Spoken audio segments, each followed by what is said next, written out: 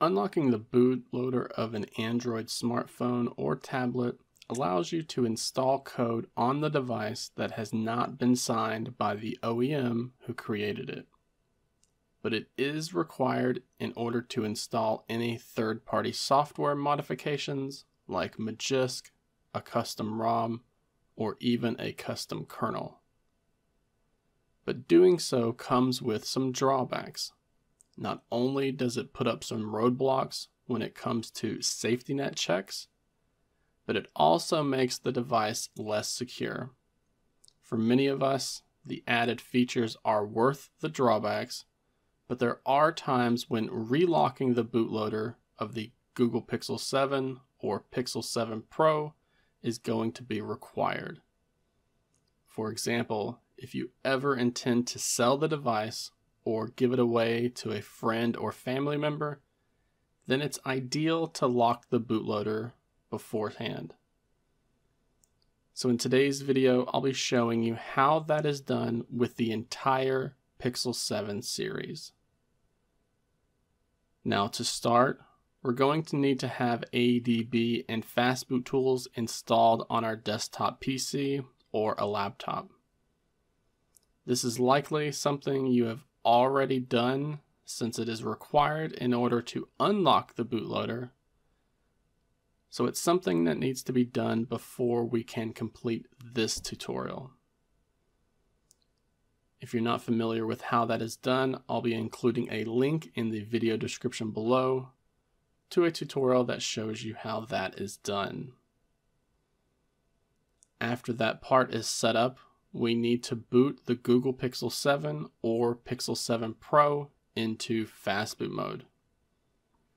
This can be done with either a button combination or by executing the command adb reboot bootloader. Again, if you're not familiar with this process, be sure to check the video description below for a link to a dedicated video that I have done that shows you how to boot the Pixel 7 series into fastboot mode. Now that we have the phone in fastboot mode, let's go ahead and connect it to the PC with a USB cable and then open up a Windows PowerShell, a command prompt, or a terminal window within the same folder as our ADB and Fastboot tools. Now that we have the phone connected to the PC, we can go ahead and execute the command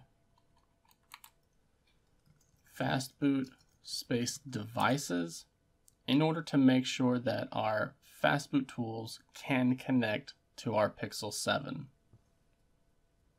As long as you get a return message with some letters and numbers and the word fastboot, that means the connection is successful.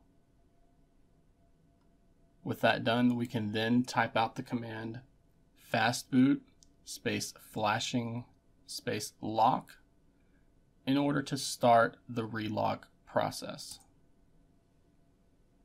You should get an OK message here without any errors and doing so will change the screen on our Pixel 7. Now that we have executed the command as instructed, this will bring up the bootloader lock confirmation screen. You need to be aware that relocking the bootloader of the Pixel 7 and Pixel 7 Pro will force the phone to perform a factory data reset. This is a security layer that has been put into place by Google, so be sure to back up as much of your important data ahead of time. When you're ready to proceed, we're going to use the hardware buttons to confirm that we actually want to lock the bootloader by making sure the lock the bootloader option is highlighted and then pressing the power button to select it. It shouldn't take much time at all, and when it's done, the smartphone will bring you back to fastboot mode.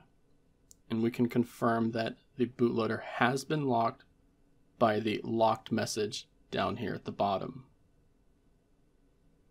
From here, we're going to continue using the hardware buttons to make sure that the start option is highlighted here.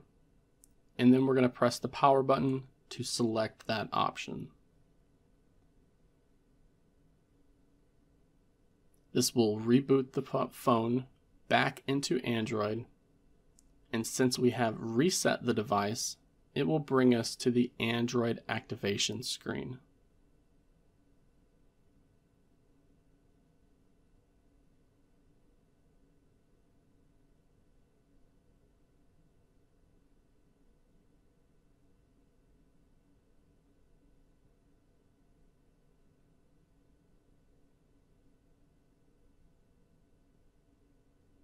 After skipping through the activation steps, we are now brought back into the Android operating system where you can begin to restore any data you had previously backed up. If not, you can set the phone up as new, which is ideal if you intend on trading the phone or selling it.